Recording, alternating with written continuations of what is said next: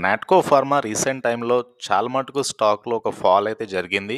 And ప్రస్తుతానికి 500 levels పైన stock చాలా బులిష్‌గా కనబడుతుంది. అండ్ ప్రస్తుతానికి 572 దగ్గరగా స్టాక్ అయితే ట్రేడ్ అవుతుంది. అండ్ ఈవెన్ డైలీ చార్ట్స్‌లో కూడా స్టాక్‌లో ఒక మొమెంటం అయితే క్యారీ ఆన్ అయినట్టే అవుపిస్తుంది. సో, ఫర్దర్‌గా స్టాక్‌లో ఏదైతే 560 లెవెల్స్ స్టాప్ లాస్ తీసుకుంటే డెఫినెట్గా five eighty to five ninety and ఫర్దర్‌గా 600 క్రాస్ అయినా కూడా నాట్కో ఫార్మాలో హైయర్ లెవెల్స్ అయితే ఎక్స్‌పెక్ట్ చేయొచ్చు. సో, రిస్క్ రివార్డ్ పరంగా నాట్కో ఫార్మా చాలా అట్రాక్టివ్ కనబడుతుంది. అండ్ ఇక్కడ నుంచి కూడా స్టాక్‌లో ఒక బెస్ట్ ప్రైస్ మొమెంటమ్ అయితే ఎక్స్‌పెక్ట్ చేయొచ్చు.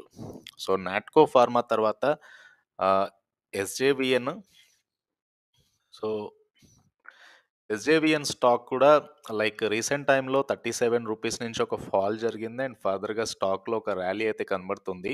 32 రూపీస్ స్టాప్ లాస్ తీసుకుంటే ఫర్దర్‌గా 35 టు థర్టీ సిక్స్ రూపీస్ ఎస్‌జేవీఎన్‌లో ఎక్స్‌పెక్ట్ చేయొచ్చు.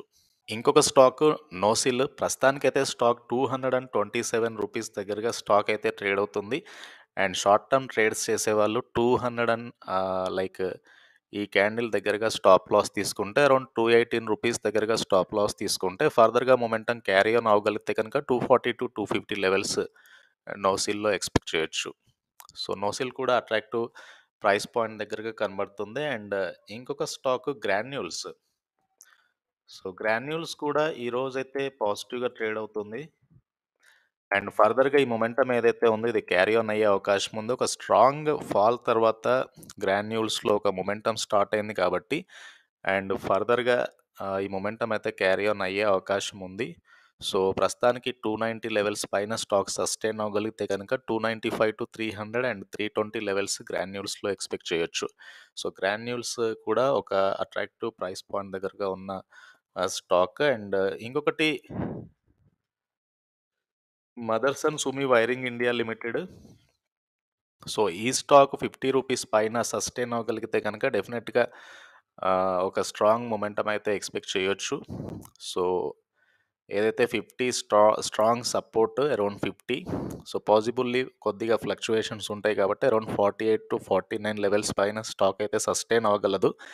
అండ్ ఫర్దర్‌గా ఇక్కడ నుంచి 55-60 లెవెల్స్ అయితే స్టాక్ నుంచి ఎక్స్‌పెక్ట్ చేయొచ్చు.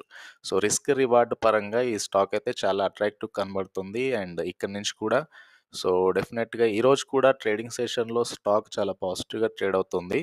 సో, హోప్ ఈ మొమెంటమ్ ఏదైతే ఉంది ఇది కంటిన్యూ అయ్యే అవకాశం ఉంది.